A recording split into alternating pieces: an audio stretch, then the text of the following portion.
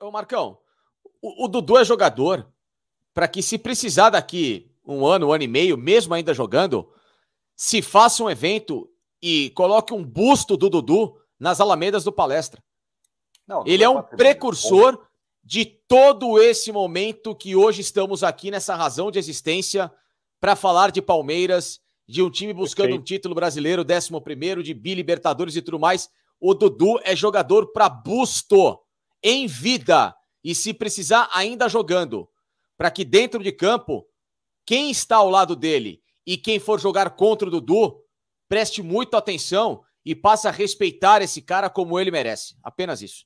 Você sabe que isso chama atenção para algo até maior, né, Facinca? Você falou de busto, e a gente sabe que é, para ter um busto nas Alamedas, erroneamente a gente utiliza muito o termo Alamedas. Alamedas é dentro do clube, né? Não é o entorno. Muitas pessoas usam como entorno ali, próprio Xixo, muitas pessoas falam ah, nas Alamedas. Não, as Alamedas é lá dentro do, da Sociedade Esportiva Palmeiras, onde as coisas aconteciam. Esse termo foi divulgado amplamente, ficou conhecido graças ao genial mestre Roberto Avalone, que não está mais entre nós. É, ele sempre usava é, nas Alamedas, né? Eu ali nas Alamedas por conta disso. E para ter um busto ali, é, você precisa estatutariamente cumprir uma exigência que eu acho nos dias de hoje é praticamente impossível. Você só pode ter vestido a camisa da Sociedade Esportiva Palmeiras. Abriram precedentes quando Ademir da Guia recentemente recebeu, o Marcos, o Dudu, seu Olegário Toy, que também já tinha é, envergado a camisa da Ferroviária de Araraquara, que tempos atrás era um fenômeno em revelações de grandes jogadores. E eu acho que o Dudu ele pode ser, inclusive, essa chave para mudança estatutária. Tem que ter outro tipo de merecimento, porque hoje em dia é praticamente impossível um jogador começar a carreira em um clube e se estender ao longo da carreira toda somente e profissionalmente jogando por esse clube. E o Dudu pode ser essa virada de chave. Eu diria que ele, ele é o mais simbólico dos jogadores, jogadores nesse século com a camisa do Palmeiras. E eu concordo perfeitamente com o que o Facinca falou. O Dudu tem que ter um busto. E talvez ele possa ser a mudança até estatutária. Alô, Conselho do Palmeiras. Vamos pensar nisso. Vamos pensar em mudar isso para a gente sempre prestigiar os grandes, aquele que sempre passou pelo Palmeiras e servir como incentivo para o cara renovar. O cara já lá com uma carreira pronto, o cara com seus 30 e poucos anos, ele pensar, pô, eu quero ser busto do Palmeiras um dia, então vou renovar. Isso pode ser um auxílio até para a renovação de grandes nomes do Palmeiras, né? Não tenha dúvida. E, e outra coisa, é, esse critério é, é ridículo, porque é, quantos jogadores que talvez a gente nem conheça que só vestiram a camisa do Palmeiras e que não tiveram nenhuma representatividade, então merece um busto por isso?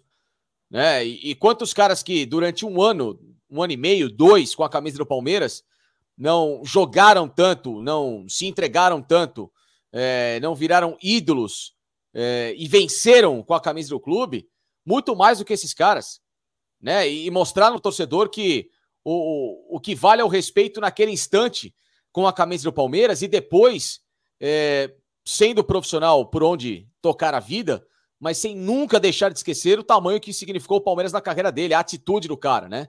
Eu acho que esse tipo de, de coisa, para mim, marca muito mais.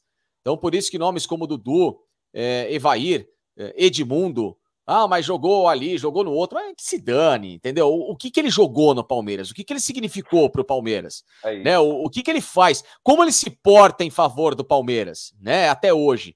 Uh, Alex, enfim, a gente vai citar ele, vai, até pouco tempo, mas assim, Djalminha, tem caras que, que vestiram a, a camisa do Palmeiras e elas abrilhantaram a história do Palmeiras.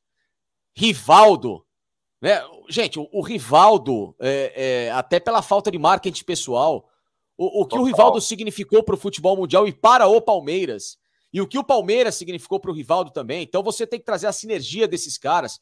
Como nesse elenco, o Gustavo Gomes vai ter que merecer um busto, como o Everton talvez mereça um busto, entendeu?